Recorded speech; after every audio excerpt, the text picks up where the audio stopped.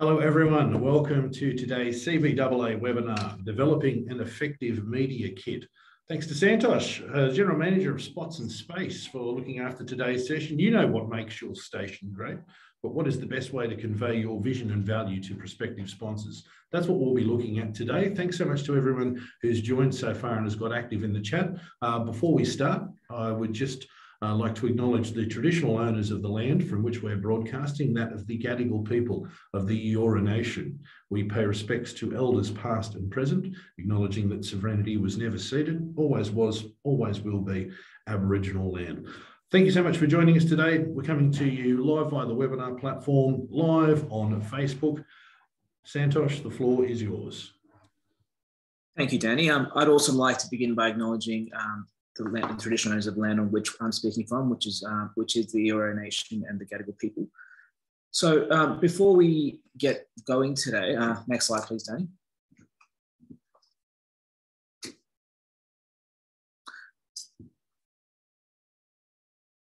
Today, uh, I'm going to have a conversation around media kits. I get asked this question all the time, um, firstly from advertising agencies that we work with uh, regarding the media kits of the community sector and different community stations. And then I get asked about media kits from uh, community stations when we're having that conversation as to what to put in there. Um, can you give me an example? Can you give me a bit of a template to do this? Uh, the first thing that I say to them, and the thing I'll start today by saying is that no, I can't. Um, there may be templates, but realistically, a media kit is something that's unique uh, to your station, and it's something that should be constructed with that in mind. So today we're just going to start with a bit of an introduction um, about Spots and Space and myself. I'll, i know we all love talking about ourselves, so I'll try and keep that to an absolute minimum. And then uh, we can get on to what I mean by a media kit and what is meant by a media kit, um, what its purpose is, and why it's relevant and valuable for your station to, to invest some time into getting one ready. Then we're going to talk about some things that are commonly found in media kits. Um, I've come across this in, in my two years at Spots and Space and even before, uh, things that we would potentially want to avoid um, when, when you're thinking about what the media kit should be for your station. Then we're going to look at um, what to include. So again, as I mentioned, there is no specific formula, but I'm going to talk to you guys about some of the uh, concepts and elements and things that you should consider including in, in your media kit and why to have that there and what role that those specific elements play. Then we'll talk about our favorite topic, not really, uh, that of numbers. So we often get asked by agencies and even other advertisers and about numbers. And it's there's a bit of a myth that it's super important, but also um, we'll talk to you about why not having any relevant numbers or having incorrect numbers can be quite detrimental, uh, detrimental to what you're trying to achieve.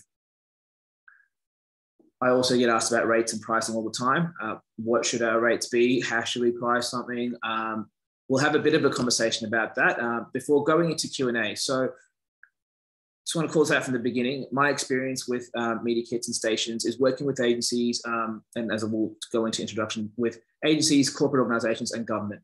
Um, you yourself will know what works best for your local community, what works best for your local advertisers. So towards the end, I'm really keen to have an open conversation with uh, that we can all learn from each other about what's worked well for you in the past. Uh, next slide, please, Danny. So as I said, we'll be uh, quite quick through this. Uh, Spots and Space was established about 27 years ago um, by Lee Hubbard, who some of you may know. Uh, we advocate for community radio to advertising agencies, government, and corporates. And by this, we mean we want more stations considered for more campaigns um, and for all audiences of community radio to be considered for more campaigns. As uh, the national media sales representatives, we're working on increasing sponsorship revenue for the sector as a whole so, what I mean by this is increasing budgets for every campaign, um, increasing rates, also just making every advertiser ask the question can we look at community radio for this campaign instead of just dismissing it from their uh, their thought process which is which is something that we, that we certainly work with. So that's the things that we do and what we advocate for um, as an organization. Um, just briefly about myself, I used to be working uh, with commercial news media organizations across Australia and New Zealand uh, when I was at AAP. And it was, it was really interesting experience just to learn, um, learn what they did well, but also see some of the same challenges that, um, that sector faces when it comes to innovation and technology. Um, something that's certainly not unique uh, across the board. So that, that was a, a, good grounding in the media sector. I've also worked for um, digital marketing agencies, so the agency side of this conversation, um, working on delivering national campaigns, which gave, gives me a bit of an understanding around the type of things that they look for when they go through their media buying process and certainly helps uh, with the role here at Spots and Space. I, while I haven't worked in community radio in the past, I've certainly grown up listening to it, and it's an absolute pleasure to be working uh, so closely with the sector and working with my passion of trying to increase revenue for the sector and watch it thrive. So uh, next slide, thanks, Danny. Okay. So yeah, this is this is the ultimate question now. What are we talking about when we mean media kit? Now there are certainly examples uh, and a lot of confusion where people and there is this is also called a media kit or a press kit where brands would necessarily put something together as a press release um, for journalists to report on or for it to get picked up in some form of media.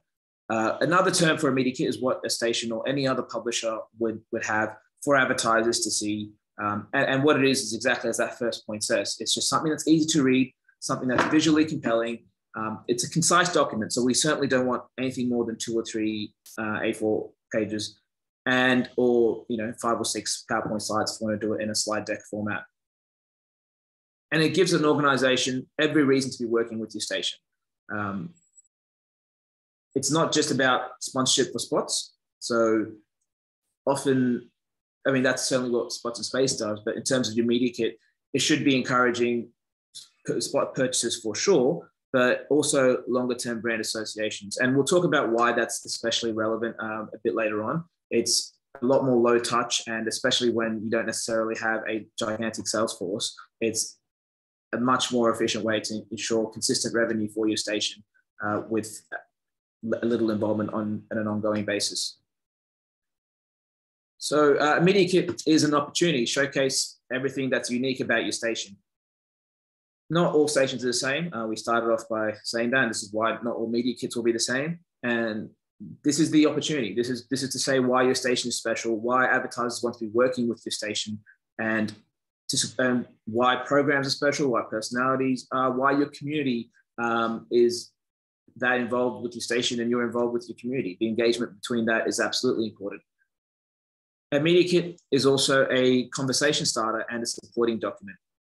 So, but by this, I mean, you want the media kit when you're having a conversation with a potential sponsor to to talk to about certain things about the media kit. So you either lead with it and then follow up with a phone call, or you're already in conversations and they're, they're already potentially consider working with um, your station, and that's and that's the purpose of the media kit as well to support the conversations you're already having, support the reasons for working with your stations that you've already communicated with them.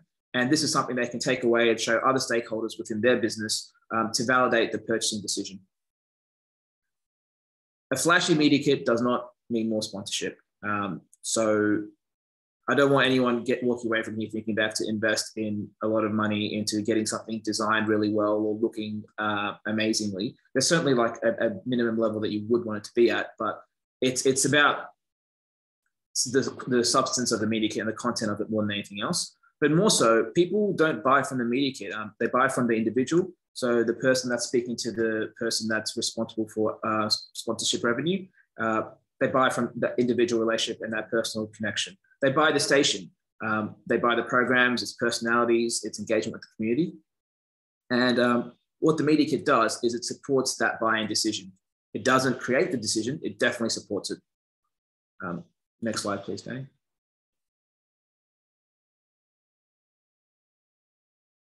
Thanks. So as I mentioned earlier, we'll start off before we look at what should be included, just some of the things that um, I would encourage everyone to avoid uh, in their media kits, and we'll talk about why in, in the Q&A a bit later if that's um, of interest. So I, have come across uh, media kits that have that are essentially just a bunch on a Word document that has lots of text. That's certainly something that um, I can't use when presenting to agencies, and certainly something that you wouldn't want your media kit to have. Sure, it, it may have the information that we're talking about later on, but it needs to be presented um, in a bit more of a visually appealing manner. And yeah, that's that's that. Uh, in terms of uh, the information about rates and pricing. I would strongly recommend avoiding that. I would strong, strongly recommend putting any package rates out there.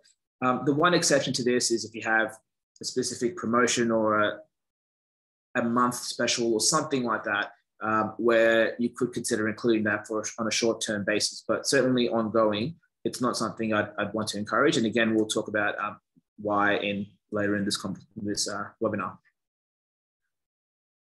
I've seen media kits that don't, don't, mention anything about your programming or the station's programming or the personalities involved with the station. Um, it just says, hey, we broadcast in this area on this frequency. And that's really not saying anything that um, the purchaser, the sponsor doesn't already know.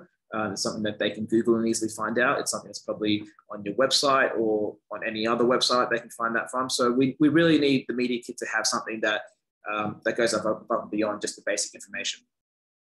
And this last thing is um, quite important. Um, as I mentioned, the media kit is to support a uh, sponsor's purchasing decision for why they want to buy sponsorship on your station, whether it be spots or a longer term sponsor of a program or anything.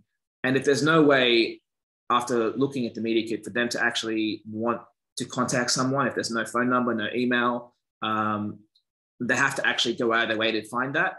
You know, that's just putting another barrier between them actually purchasing that sponsorship. So absolutely, we need to have um, some sort of call to action and contact details. And um, that certainly it's an absolute minimum. The final point on here is numbers and statistics. So there's a slide here later that we'll talk about the role of numbers. Um, but one important thing is to just never have something that's either incorrect, so simply that's something that's untrue, or something that's irrelevant. So an example would be someone saying you're the number one station in a location and then providing some sort of numbers about uh, listening overnight. Um, sorry, I just got an example of the spot, but but the numbers and statistics statistics have to support the story you're uh, saying in the media kit. So if you are saying you have a great connection with the particular type of community, then support that. If you are saying you're the the number one uh, radio station in that particular region, support that. Uh, but that, but that's the final point on that, I guess. Um, Danny, next slide, thanks.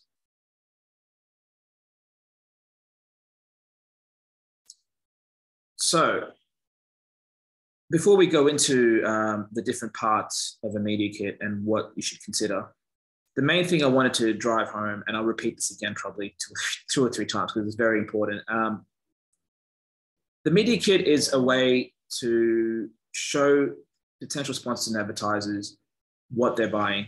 When, when I'm talking about what they're buying, I'm not talking about the numbers of people or um, this particular program or you know a specific demographic that advertisers say that they're necessarily looking for. Uh, I'm talking about they're buying your station, they're, they're buying the opportunity to work with your station, to be branded with your station, to engage with your station's community. And in order to do that, that needs to be front and center um, of what your conversations with the potential sponsor are, and also front and center of your media kit. So that's the first point, uh, which is your station is a community institution. So show that. What is your station story, its history, its significance to your community? Um, anything with a bit of history it evokes that nostalgic emotion, but not just when you're talking about it, because I'm, I'm, sure you're passionate about where you, what your station's all about, but also it would have that uh, emotion with the potential purchaser because they know they're really buying into something that's had some history that has that connection with the community. Um, the media kit's an opportunity to showcase that as well and your engagement with your community, whether it's OBs that you've done or events that you've had, or even I know um, a lot of community radio stations were quite prevalent in how they react to things like the bushfires and floods and even COVID 19.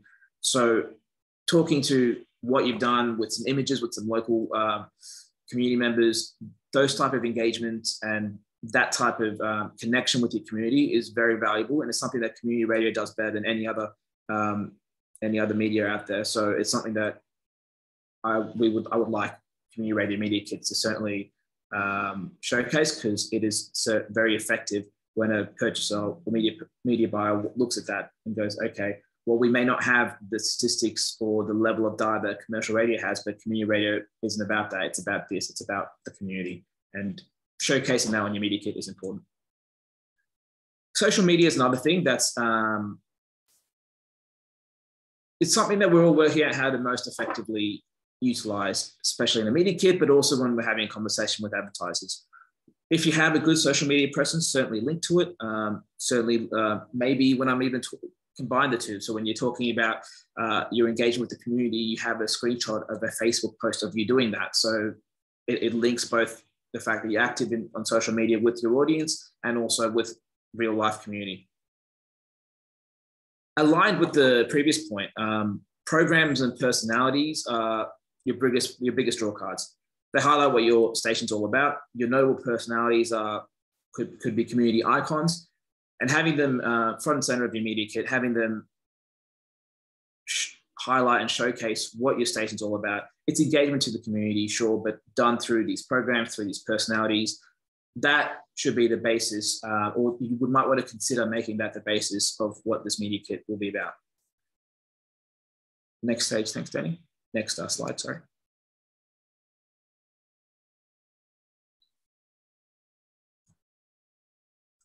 Aligned with what I was just saying a bit earlier about inviting the um, potential sponsor to be understand what your station's all about, audio and video clips are very powerful. So whether it's a video of broadcasters sitting in the studio uh, doing a particular broadcast, or video of just a, uh, a station tour, or audio from a particular program that shows the sound of, um, of, of, your station to a potential sponsor. Um, certainly, from my perspective, when I'm working with state and national based sponsors, and we have the privilege or opportunity to show a bit of an audio clip of a community station and the sound of it to these uh, to, to, these advertising agencies, they're quite amazed and drawn in and see the appeal and see why it's different and see why it's not just like why they can't compare like they would to commercial radio or other mediums that may have better statistics because it's a different uh, conversation. It sounds different. Your connection with your community is different, and that's something you can certainly showcase in um, in the audio clip or a video clip. Also, as I mentioned, images and video of your studio. Look, it may sound like it's boring. Every studio may look similar and you you might think why should i include that but i think it's certainly a valuable thing to do because radio isn't something people can necessarily visualize and putting that image of where you're broadcasting from or your studio or um, individuals that make your uh, your station run it makes it a tangible thing they're working with real people and a physical location. So certainly something to consider. Broadcast areas and coverage maps um, yeah, it's, I would say it's essential. Uh, to have it in there because more often than not, um, a lot of advertisers are certainly looking to to be areas that you do cover, even if it's not a primary concern for them um, at, at, some point along the, the road when they have to validate why they're purchasing or, or, buying sponsorship on, on your station, they'll have to validate, look, they've got some numbers somewhere, they've got coverage map somewhere. So it's certainly helpful. And from my perspective, for state and national advertisers, it's something that most of them ask about. So absolutely including that in your media kit is something you should consider doing. And the last point, um, before we go over, I'll, I'll, it's, it's similar to what I said before. It has to be a visually led design um, with minimal text. And by that, I don't necessarily mean it has to be flashy. I, the content of your media kit absolutely will, will be the primary thing that matters but it, it has to be at a certain level of visually appealing for them to digest that content. So that's why I put it last. It's not a major point. I certainly don't want anyone to walk away thinking they have to invest in designers or whatever else, but it has to be at a bare level. Next slide, please, Danny. So numbers. Um, we spoke about it before um, in the sense that a lot of potential sponsors may ask for numbers. A lot of conversations I have with say, national based advertising agencies and government request numbers um, and use it as a way to either say they don't want to work with, with your station, don't want to sponsor, or maybe to justify it. Realistically, if you're having a conversation about numbers on that granular level, something's not potentially gone as right as it could have before you got to there.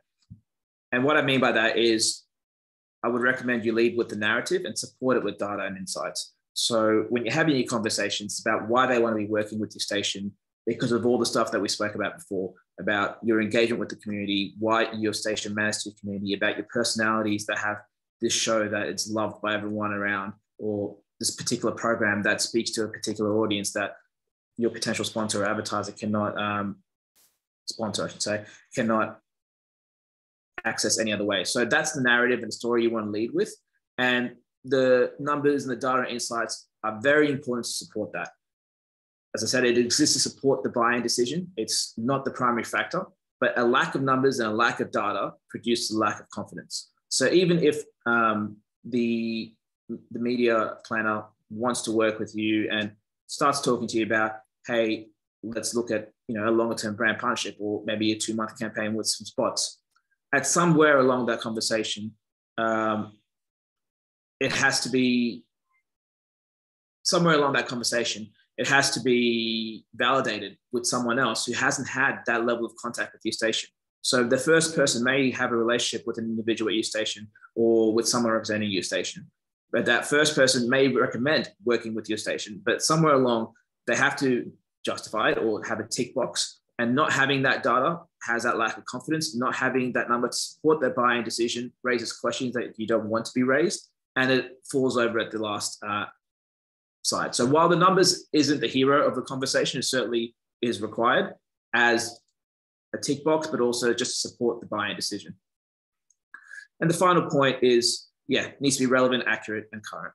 Um, that may seem like a basic thing that I keep repeating, but I'm doing doing that because I've often seen uh, our data statistics, irrelevant statistics, and sometimes just inaccurate statistics. Uh, people saying they more people than they do, or people maybe underselling themselves. So these are things to avoid because, again, just like numbers can support um, a, a, good decision and a buying decision, finding out numbers that are inaccurate or irrelevant or maybe 10 years old at a diff, at the stage of that process can bring the whole conversation down as well. So um, all of that's important, but just to reiterate, you have to, they buy because of the individual, they buy because of the station, and the numbers are just a support.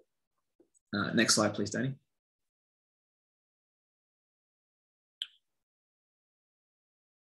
Yes, so rates and pricing. Um, again, have asked this this question about where a station should be rate, uh, priced all the time, and that's certainly something we can dig into a bit deeper um, at the Q and A if it's of interest. But the main point I want to get across from today's webinar is to not list them on your media kit if you can help it. Um, I say if you can help because there are exceptions, and it's good ideas to potentially list them for a particular promotion as a short-term uh, avenue. But for the most part, there is no context for any rates you're giving um, because as the media kit is um, so I just noticed some questions here. I'm going to pause for a second. So how to get accurate stats on listener numbers? Well, I'll let um, someone from the CBAA potentially have that conversation with you later. Certainly, I, think in terms of community broadcasting, that the work that they do about listenership is probably the best we can get. Um, it is the best we can get, and it has helped me in conversations with um, state and national based agencies having the uh, National Listenership Survey data uh, to speak to. But again, I'll let the CBAA um, have that conversation with you uh, later on, Susan. Um, but but that's not to say that's the only source of numbers, and that's not to say you can't use other numbers from from other uh, locations as well, as, as long as it's particularly relevant and accurate and current. Um, to go back to, sorry, I just noticed other questions. Um, James, yeah, I think um, this is being recorded uh, from what Danny mentioned. Uh, so it should be available online later. To go back to uh, rates on the media kit, um, so yeah, don't include them because there's no context. They're buying from the individual's conversation with the other individual. So that conversation isn't recorded on the media kit. It's the media kit separate to that. And also, if you just put rates out there, there's no reason for them to know why the rates exist or what the rates even mean and as I said, people buy from people, and you want to encourage the conversation. Having rates on there means they don't pick up the phone and call you, and they don't enable you to have that conversation where you can talk to them about more than just spots. You can talk to them about uh, various ways to work with each other, which I'll talk about in a second. So, in terms of pricing, um, it's usually set by supply and, supply and demand factors and availability. So, if your five minutes is not full, you can lower your rates. If five minutes is full, you can increase them. But realistically, that's that's difficult to track, difficult to do without a sales force that is constantly seeing what what's available, what's not, and it's constantly out there changing rates and having those conversations.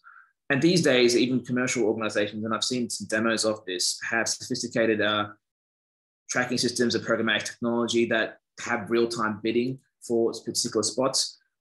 We don't want to get into that. Uh, one, I don't think uh, uh, I don't think that's something that's particularly relevant because we don't want to we don't want to have the conversation about reach and frequency and numbers necessarily because that we want to talk about why they're buying into our communities. So a much simpler approach would be well, there's two specific approaches. Um, one, just have spot rates for short-term campaigns.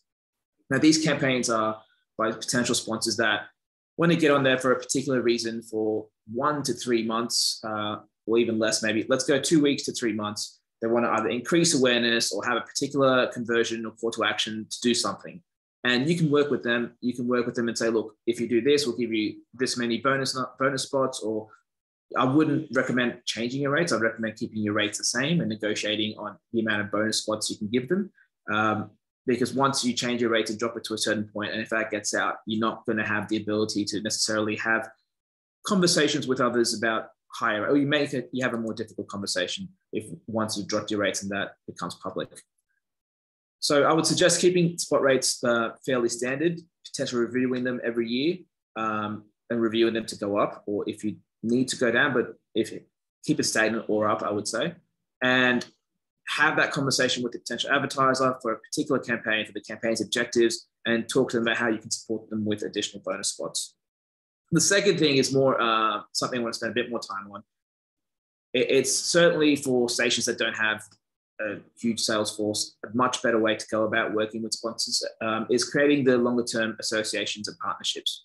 And every uh, potential sponsor that will speak to you about working with you on a short-term campaign can potentially also be a longer-term uh, sponsor. That's just up to the individual, and maybe we can do a different session at some point around how you have those conversations, what conversations um, should be had to convert that.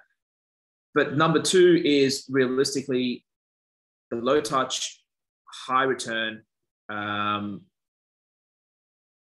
the low-touch, high-return uh, sponsors that you want. Ones that work with your brand for like with your station for uh, six to 12 months that have a strong association with your stations and you review them every now and then. You, you like you have it you build a relationship over years and you give them a lot of value from that. So you, you let them uh, maybe sponsor a particular program or i'm not sure. There's there's so many different uh, variables you can include in that but that's what you really want to focus on because the short-term ones will come and go. And unless you have a sales force that's keeping on top of them um, it's not it's going to be a lot of uh, high contact for not that much uh, in terms of revenue coming through.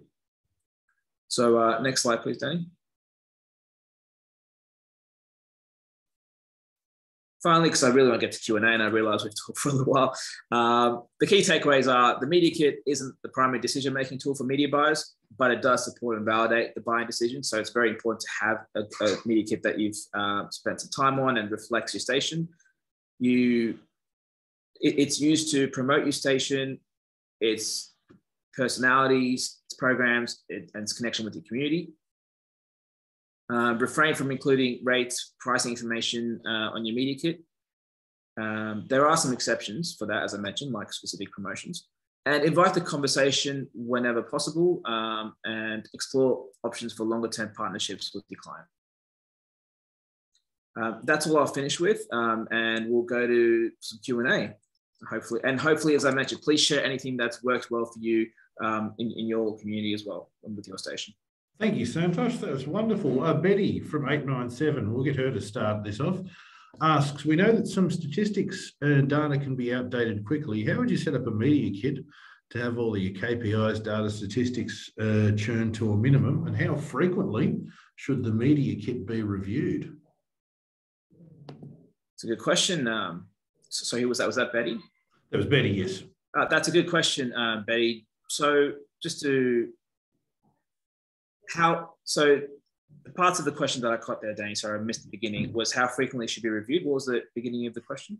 that was the second half of the question was how frequently should the media kit be reviewed? Uh, the first part was just uh, keeping in mind that statistics and data obviously can become outdated quickly. Yep. How would you sort of set up your media kit to make sure that uh, it was showing up-to-date, accurate information and how frequently should it be updated? So again, I would be uh, minimalistic with, with data. I would not necessarily um, Thanks, thanks, Steve. Uh, so I would not necessarily um, go into and list 10 different statistics that you need to uh, support and change all the time. As I mentioned, the statistics are there to be like has to be accurate, relevant, and current. So the relevant, relevant factor of the statistics is to pick and choose what data supports the story you're telling in your media kit. And that's going to be different for every media kit and for every station. So I would a way to make sure it doesn't become too arduous of a task is to not use all the data you have available to you. Certainly keep that in reserve if someone asks for that deeper, but 99.9% of the time they won't.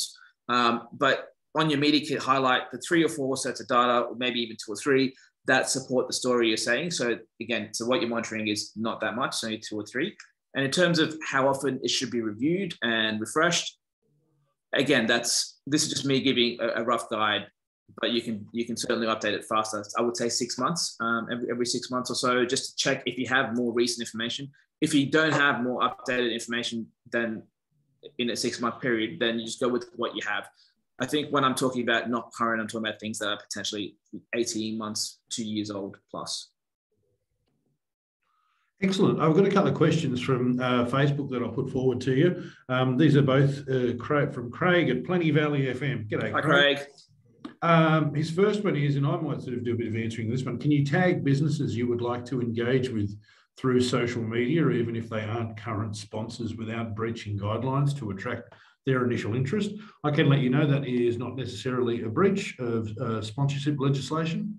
I'd say it's just you sort of reaching out. Santosh, however, might be able to provide a bit more advice as to whether that's a good strategy.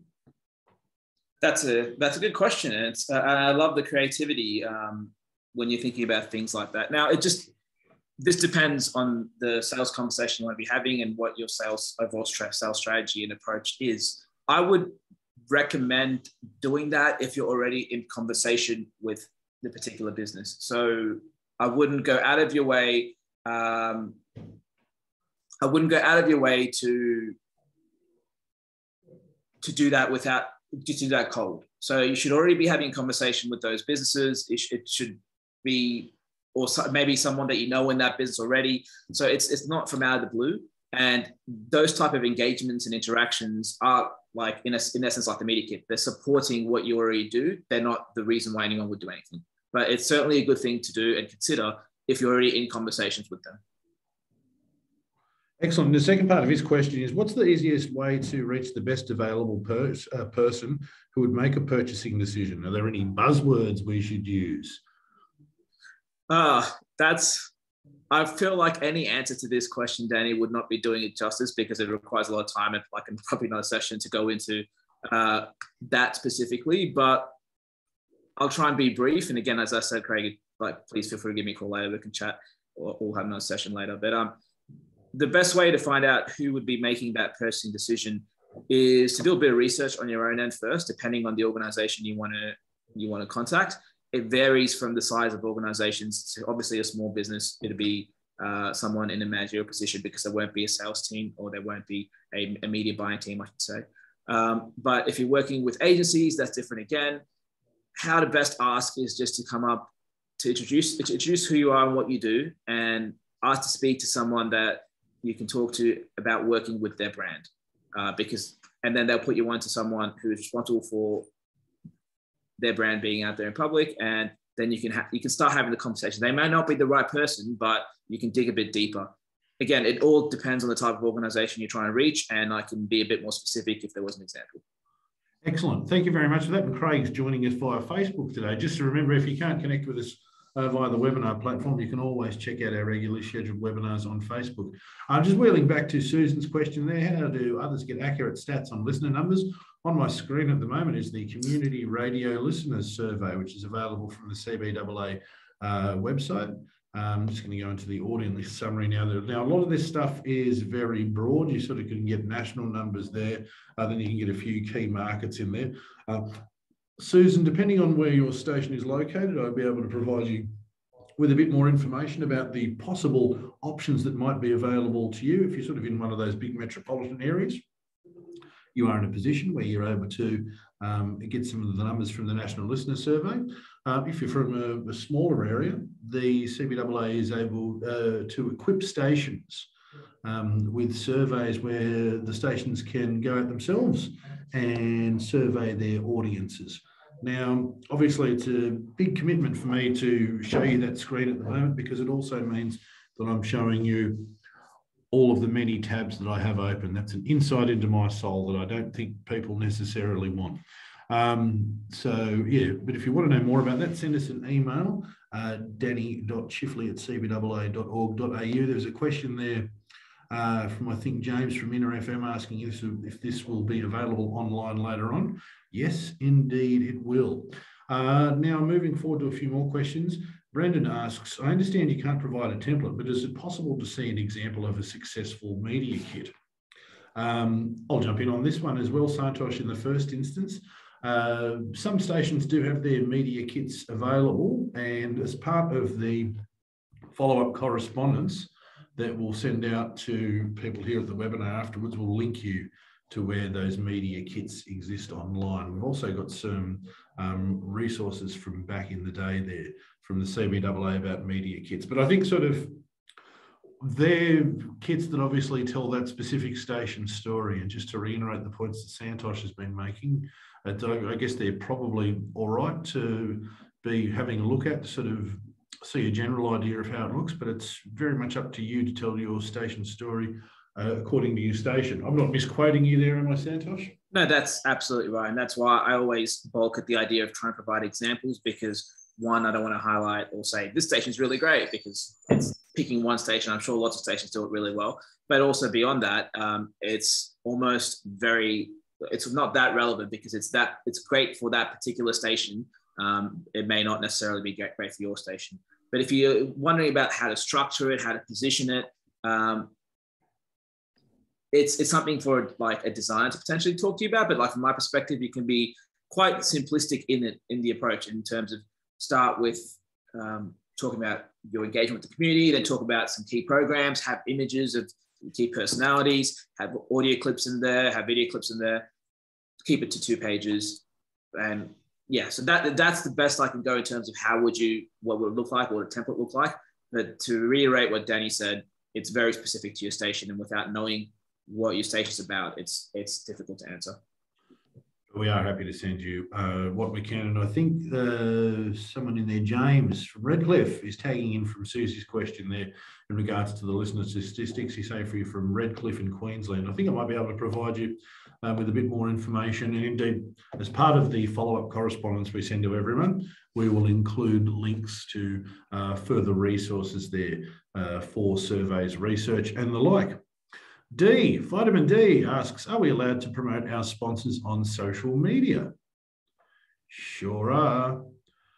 Um, it is one of those things. Sorry, Santosh, to jump in again. I just sort of check this one out because of the. Um, I think the the barrier here, or the thing that people are concerned about, is that there is um, breach potential breaches of sponsorship. That's not really the case. It's just one of those things where um, it's fine for you to engage with people online, and I think it's probably a clever thing because it means that you're able to bolster your existing on-air sponsorship with being able to sort of say, oh, you know, we'll be supporting you online and on social media.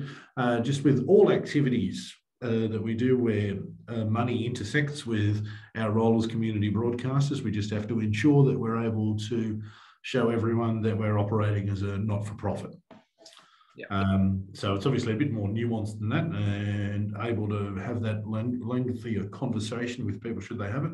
But as it stands, it's uh, no worries at all. Many stations have listed on their websites their list of station sponsors where people can, where they're able to link to that sort of stuff. Uh, thank you, Dee, for that. Uh, Brendan, we asked your Brendan used both the Q and A. Sorry to cut you off there, Danny. Just to just to go back to Dee's uh, question there um, it's doing those type of um, associations and sponsorship is certainly another way to really increase the value of the brand, so the longer term relationships with your stations. Um, and, and, the more that you do things like that, and the more value that like one sponsor can see or a potential sponsor can see that the existing sponsor is getting, you're better. You, it places you in a better state to have those conversations about any future sponsors about how they can work with you longer term. Sorry. Thanks. And Paul Price asks the million dollar question Do you have tips on how to set pricing?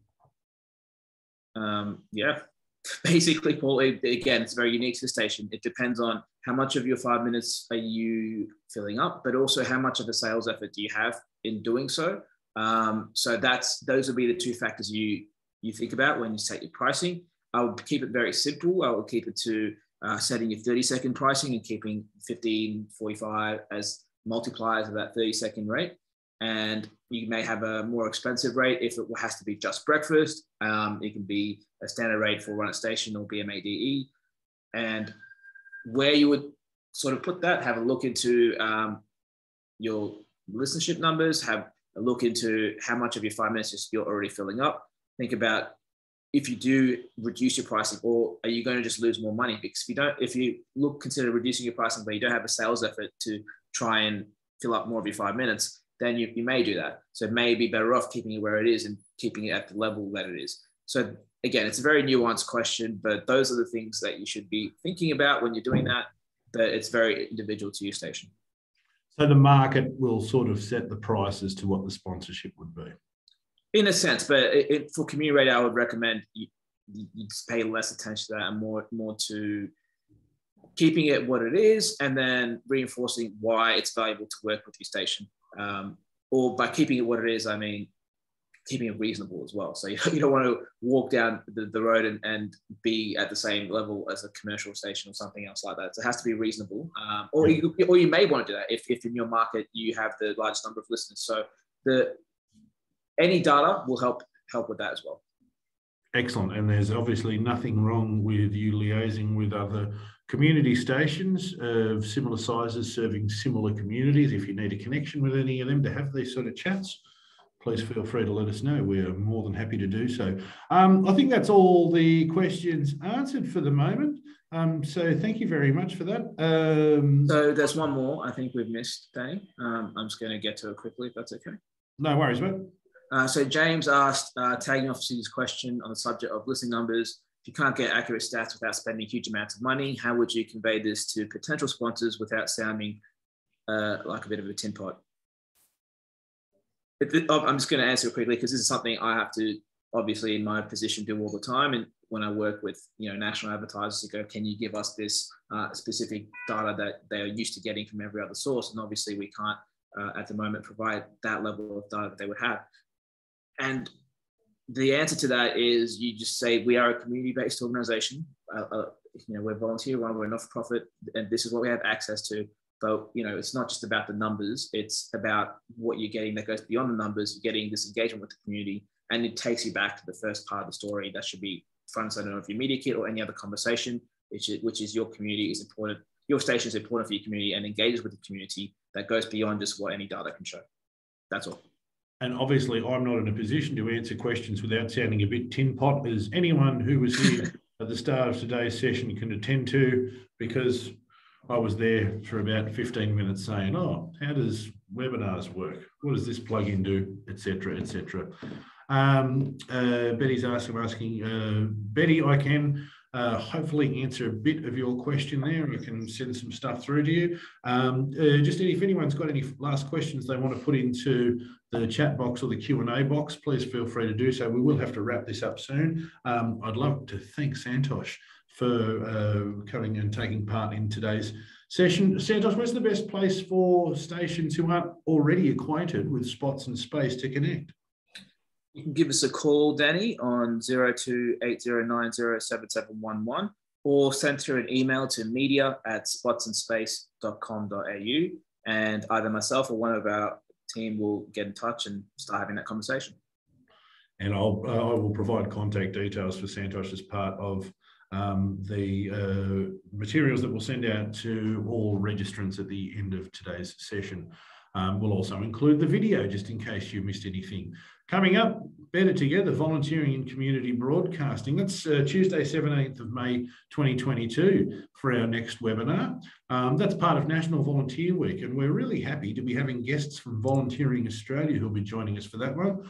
Uh, we'll be talking about attracting new volunteers to your station, um, how you can make sure that you're keeping your current volunteers engaged and happy, and also a bit of stuff about volunteering in a post-pandemic world. Anything we discuss at the moment has to do with that post-pandemic world. Um, but of course, also we're aware that the election was called on the weekend, so there might be the call between today's webinar and our next webinar that's there on the screen at the moment for us to have a webinar about engaging with politicians, making sure that we're all aware of the rules and regulations in regards to any election promotion uh, that might be there on air and just sort of making sure that stations are doing as much advocacy on behalf of their station as is possible with their politicians in their area. Um, the CBAA, as with everything else, will be letting you know about that.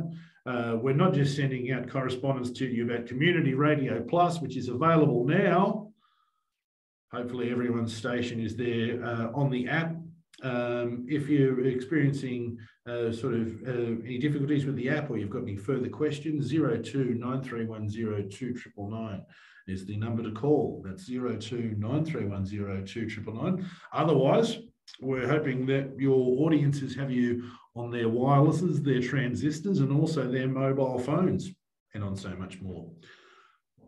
That's it for today. Thank you so much for joining us, everyone. Thank you so much to Santosh um, for leading today's session. Absolutely wonderful stuff. Uh, my name has been Danny Chifley. I will be in touch with you all again very, very soon on behalf of the Community Broadcasting Association of Australia. Thank you for joining us for today's webinar. You take care now. See you soon, and don't forget to fill out that feedback.